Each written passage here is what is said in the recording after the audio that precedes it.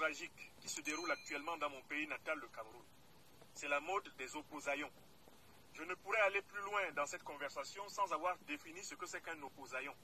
De telle façon que vous puissiez reconnaître cette espèce politico-politicienne rare dans la faune politique de nos tropiques. Un opposaillon.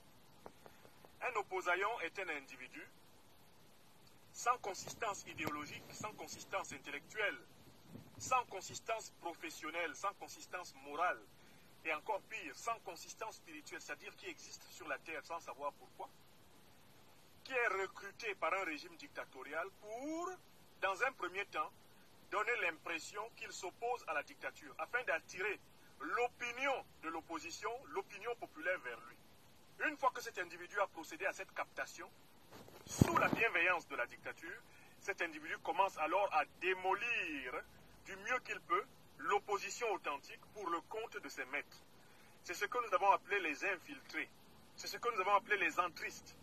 Et c'est pour cela que nous avons créé le concept de positionnant, pour les distinguer des opposants. Ce ne sont pas des opposants, ce sont des positionnants. C'est-à-dire des gens qui sont à la recherche d'une position. Et pour cela, qui sont chargés par la dictature de jouer à l'opposition, de jouer aux opposants, pour distraire l'opposition, pour distraire le peuple, avant de mériter leur récompense, à savoir une nomination dans l'un de ces postes criminels, boustifailleurs, ces postes à bouillabaisse de nos satrapies reptiliennes, de nos monarchies tropicales, eh bien, ces postes sur lesquels ils s'asseyent et à partir desquels ils commencent à voler comme leur chef.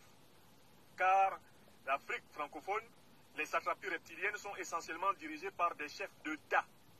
Vous connaissez l'expression qui sont des voleurs et des criminels impénitents, protégés par la tutelle néocolonialiste française, protégés par eh l'industrialisation du tribalisme dans chacun de nos pays, protégés par eh l'expansion de l'ignorance, l'analphabétisation de masse, ces individus-là eh travaillent essentiellement avec des positionnants ou des opposaillons. Je recommence et je résume la définition de l'opposaillon ou positionnant, en tout cas le pseudo-opposant. C'est un envoyé du régime dictatorial, du régime despotique et corrompu, du régime illégitime et profondément illégal de n'importe lequel de nos pays où la démocratie et l'état de droit n'existent point.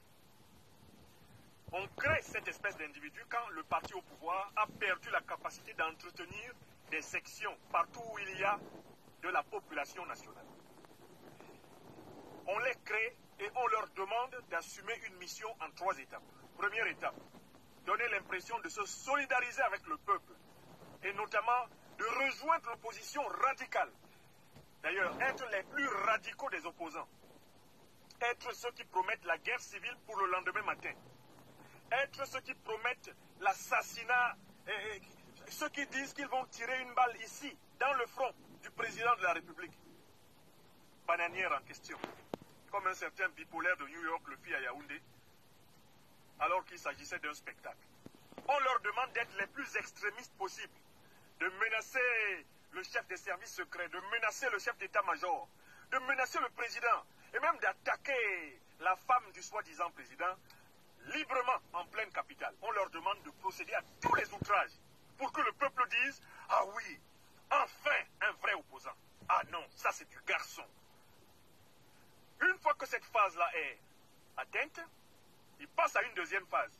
Par petits bouts, il commence à s'attaquer à la véritable opposition, c'est-à-dire à ceux de leurs compatriotes qui sont véritablement capables d'apporter une alternative à la politique dictatoriale criminelle incompétente, à la politique ténébreuse régnante. Ils sont chargés de commencer à critiquer certains aspects de l'opposition, et l'essentiel étant de faire passer les véritables leaders de l'opposition, les véritables penseurs de l'opposition, les véritables figures de l'opposition comme étant incapables d'incarner l'alternance. Ça, c'est leur deuxième mission, c'est la phase 2. Vous les reconnaîtrez à ça. Ils commencent par être des radicaux anti-pouvoir, et ensuite ils deviennent progressivement des radicaux anti-opposition. Est-ce que c'est propre? Et puis, troisième phase, tout d'un coup, paf, on les nomme dans le pouvoir. Une fois qu'ils ont réussi à casser à distraire, à diviser l'opposition, à amener une partie du peuple de l'opposition, qui constitue souvent la majorité de l'opinion, à douter de ses leaders, à douter de ses intellectuels, à douter de ceux qui, de manière constante et ininterrompue, sont aux côtés du peuple. Une fois que ce doute a été instillé, les négrillons ont, eu leur, ils ont mérité leur médaille. On va donc les nommer. Certains sont nommés recteurs d'université, d'autres sont nommés ministres délégués, ministrons délégués, comme le fameux Jean de Dieu Momo, alias Jean du diable Moumou. Et certains sont parachutés à la tête de certains conseils d'administration. On leur trouve une position dans la mangeoire. Voilà comment ils remplissent le concept de positionnant.